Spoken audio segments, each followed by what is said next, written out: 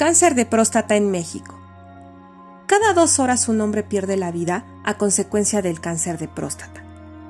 Pues siete de cada diez pacientes acuden al médico cuando la enfermedad ya está en etapa avanzada.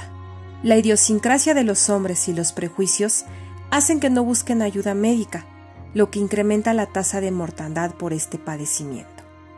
Soy Cintia López. Yo influyo.